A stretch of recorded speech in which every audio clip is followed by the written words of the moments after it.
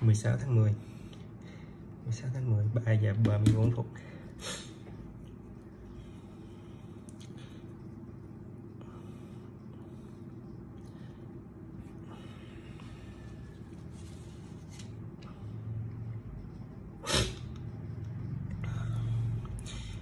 quay này có quay lại không nha các bạn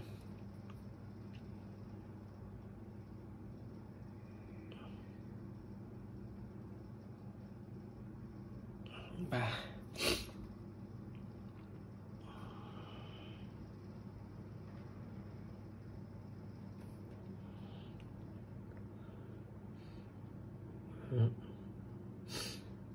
chữ tờ, nếu mà dịch đỏ ngay chữ tờ là dương tính.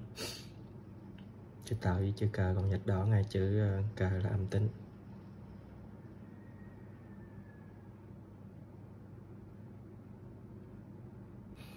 Nó đang chạy mà.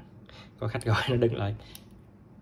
Vẫn là 15 giờ 36 phút là cái này nha. 16 tháng 6 16 tháng 6 ở đây các bạn. Ừ. rồi, vì sức khỏe mọi người hôm nay test lại. Một tuần test lần các bạn. Đây. Là dương tính. Uống lại âm tính nha. Bữa giờ cứ test vậy đó mình đi uh, giao đồ nhiều nên phải tự bảo vệ sức khỏe của mình sức khỏe của khách của mọi người. Rồi nha các bạn.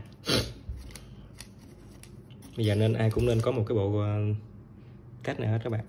Đi làm ra đường nhiều á tự test là tự bảo vệ mình người khác gia đình. Nha.